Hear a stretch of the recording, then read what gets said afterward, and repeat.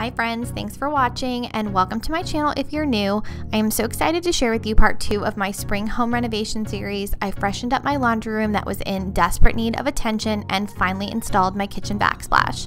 If you enjoyed this video, please give it a thumbs up and subscribe if you haven't already. Let's get started. So the first thing I want to do is show you guys what this laundry room looked like before I even started any of the work. And I'm going to insert a picture here of what it actually looked like even before it got to this point. There were a couple of cabinets that were already um, installed when I bought the house and some shelving and things that I just knew that I didn't want to keep and it was going to be really really hard to paint around those things. There's a lot of stains on the wall um, almost like from a spill or something. I'm not sure what they're from, but this is how the laundry room looked when I bought the house. So I knew that there was a lot of work that needed to be done in here, but it's such a small space that I put it off for a really long time thinking that it wouldn't take that long. And in theory, it really only took maybe three or four days from start to finish, but almost every square inch of this laundry room needs paint. The trim needs to be painted, the walls need to be painted, the doors need to be painted, and then of course I need all new outlet covers and light switch covers and things like that. So this is what we are working with to start.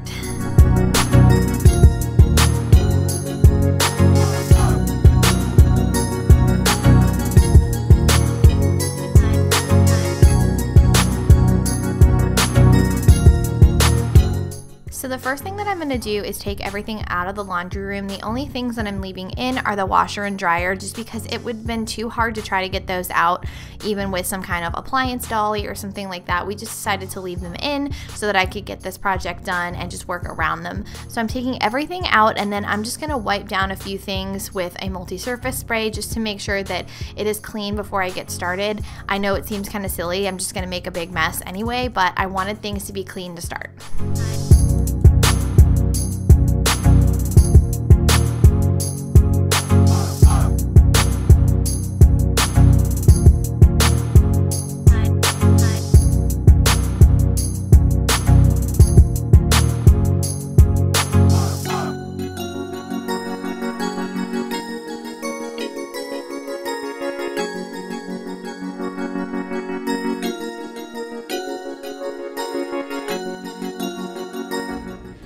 Okay, so I have to go into my renovation room, I guess you could call it, to get a screwdriver, and I realized I haven't shown you guys this room yet. You can see it is like full of like renovation supplies and tools, and it's just kind of like a storage room for all the stuff that I need, plus all of the doors that go in my upstairs but we lovingly, lovingly refer to this as the party room. I don't know where that started, somewhere along in the renovation journey. We just started calling the room that had all the stuff the party room. I don't know if that's just because it sounds way more fun than it really is, but anyway, I'm gonna grab a screwdriver and then get started.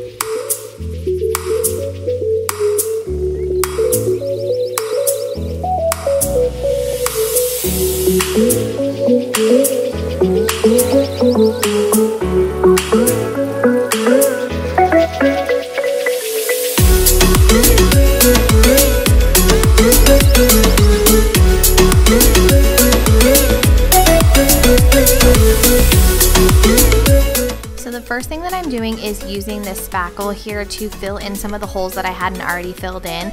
I saved you guys from having to watch me fill in every single one of these holes because I had already done so much work. You can see all the spots on the wall where I already have some spackle. So I just went ahead and wiped down the walls in case there were any cobwebs or lint or dust or anything that had built up on the walls. And then I went in with my putty knife and re-spackled and re-sanded everything to make sure that all the holes were filled in fully. Música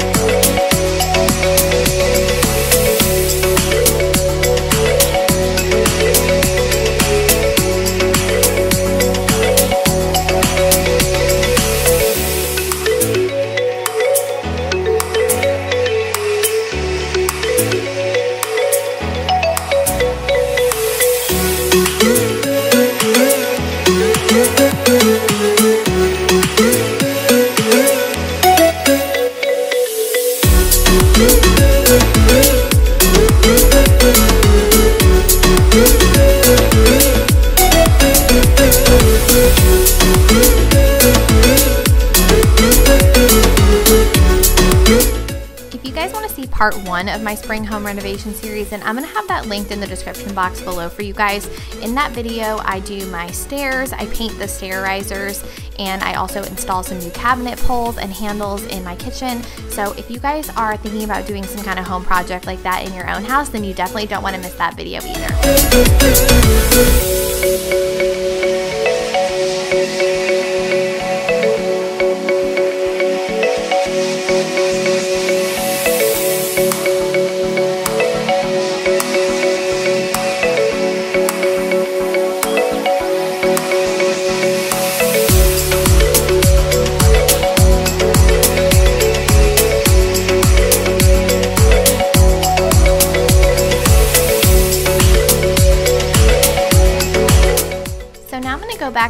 Every spot that I spackled with my sanding block and really this is one of those things that you you have to feel it with your hand. You can see where you need to um, like lightly sand over with your eyes but I think that the best way to do it is just put your hand up there on the wall and see if it feels smooth. You can even close your eyes and see if it feels to you like natural wall or if it feels like you still have some extra putty that needs to be um, sanded down.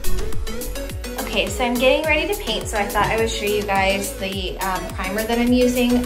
I'm sure as you noticed me doing my spackling and stuff, you saw um, places where, like here for example, there's like staining. Um, over here, there's like some spots and stuff. So I wanted to make sure that I used a primer that would not only give me a nice base, but would hide stains. So this is the one that I'm deciding to use. I used this on my stairs as well. If you watched um, that video, then you would have seen me use the same paint when I prime my stairs. So it says here that it will hide dark colors, which should be good for stains, right? Blocks common stains. Glossy trim, which is good because I'm also gonna be using this on all the trim in here that has not already been painted, which is good because then I'm gonna go back and use a glossy um, coat for the trim. And then it has good adhesion, top coat in one hour. I'm obviously not gonna be painting today, but if I needed to go back and do a little more of the primer, I could do that. It is a water-based paint, which is good, and I didn't know it was good for siding, but that's cool. So this is the paint that I'm gonna use. I'm gonna start by using, I have my small paint pan here. I'm just gonna go around and just do some edging, and it's not a big deal. I haven't done the ceiling in here either, and I'm doing all the trim. So I really don't have to tape anything. I'm doing the door. Everything has to be primed pretty much. So I, I don't have to tape for this coat, which is awesome. I can just kind of go and I'm gonna edge around things. And if I get a little bit of paint on the trim, again, no big deal. Um, and then I hopefully will have time today to roll, but we'll see how much I get done. So I probably should note that I did take a vacuum and clean up all of that sanding dust before I moved on to painting. I just didn't film that for you guys. You definitely want to make sure that you wipe down and get all of the sanding dust off before you start painting. Otherwise, you're going to get grit in the paint.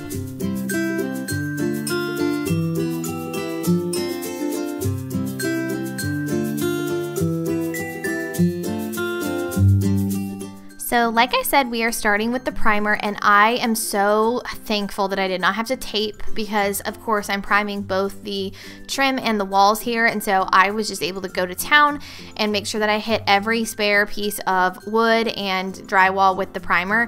And it soaked in so quickly. I feel like within five seconds it was already dry. I don't think these walls had been painted since this house was built.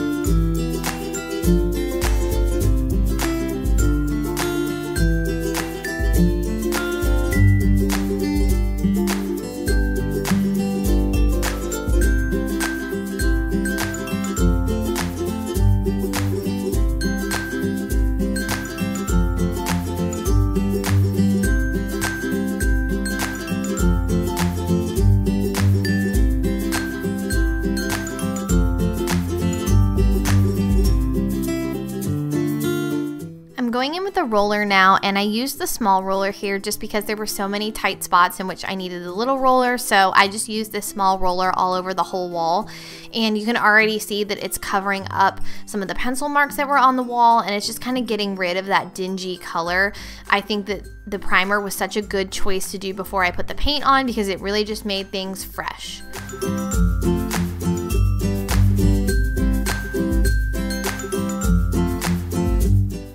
Okay, so I've done like half of this wall and it is looking a ton better except for this one stain right here. This is gonna drive me absolutely nuts. I'm gonna have to figure out something to use on this. I have a feeling there's probably a couple of other stains, like there's a small one, there's a small one, I don't know if you can see it like right there. I'm gonna have to figure out something to use to cover these up because I can't leave it like this and it's driving me nuts. Hey guys, so today is gonna be part two or day two of getting the laundry room done and I'm standing in here now and I'm really happy with how everything turned out from the other day.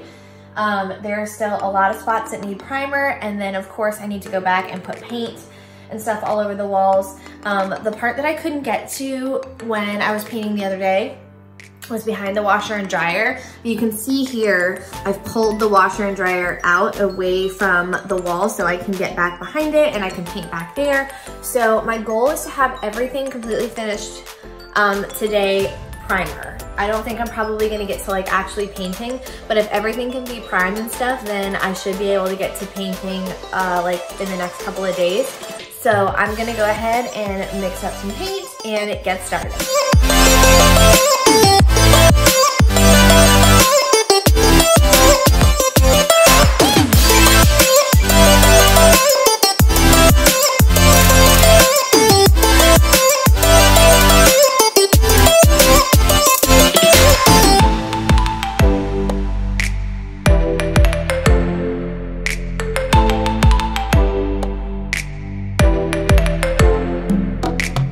So once everything was primed with this white primer, I went in with the real paint color and this is what it looked like when it was finished. I didn't film any of painting the real color because it was basically the same process that I did with the primer, but I put all new outlet covers on all the outlets, all new light switch covers on the light switches. I used the semi-gloss paint on all of the trim in here. I decided to leave the door brown because I thought that that looked really awesome and gave a really nice pop of that wood color. I am gonna have some wainscoting here on this wall that I still have to install. You can also see the new hardware on the door there, which I am so excited about. The door was painted white. Everything looks so much crisper and so fresh. I am so happy with how this turned out.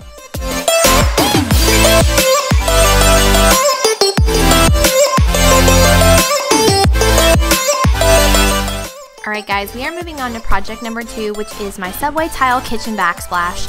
We got a lot of different products to make this project happen. We got our mortar, which is the adhesive, which sticks the tiles to the wall. We have our trowel there, which um, helps to spread the adhesive. And then we have a bunch of different tools and things that we use to cut all of the various pieces of tile. So that thing there that you see is a giant tile cutter. And then we got a small scribe to actually etch into the tile so that we could snap them and make sure that they were all the right size.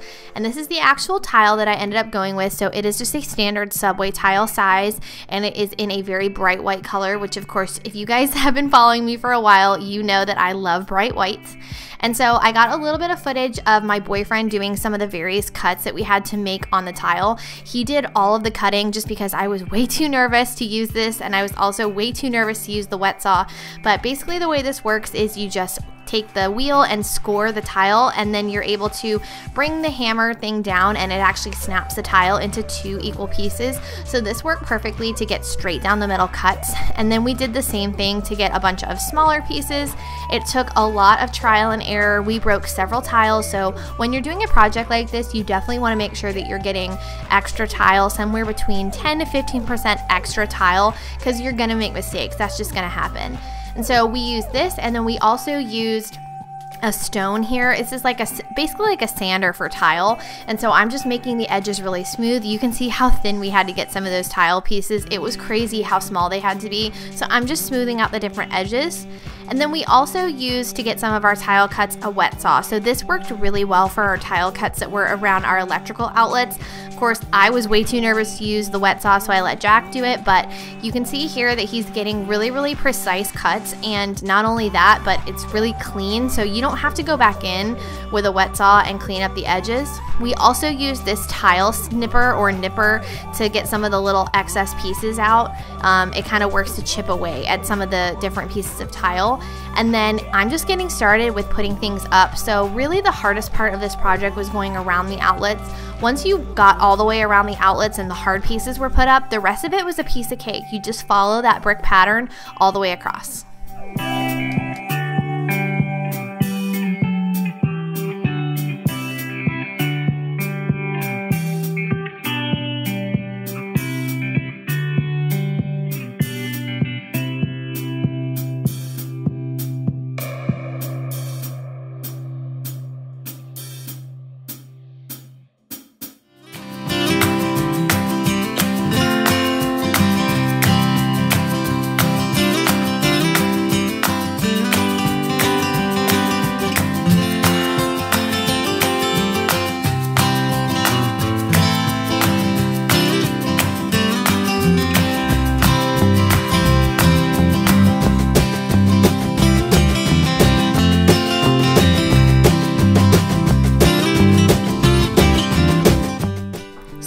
Guys are wondering, I am using 1 8 inch spacers between the tiles and you can see that I already have a small piece of backsplash that was existing from when I bought the house and it's um, the granite that matches the countertop and so I wanted to leave that where it was. I didn't want to take it out and bring the tile all the way down to the countertop so I left that granite backsplash in and started my tile from there all the way up to the cabinets and so I'm using those 1 8 inch spacers all around the edges of the tile and then all the way up to the top where the cabinets are.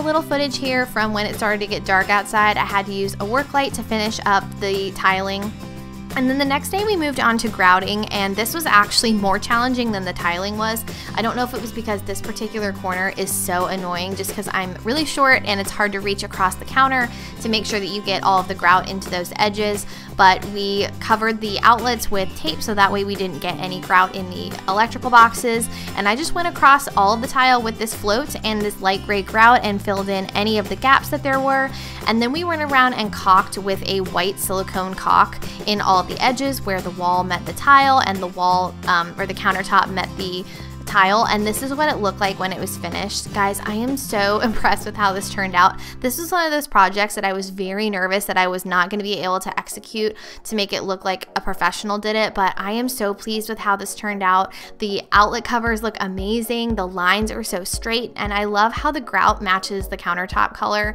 So that is going to be it for today's video. I hope you guys enjoyed it. If you do, please don't forget to hit the like button. Subscribe to my channel if you haven't already. I would love to have you and I will see you guys again really soon in a brand new video. Bye guys!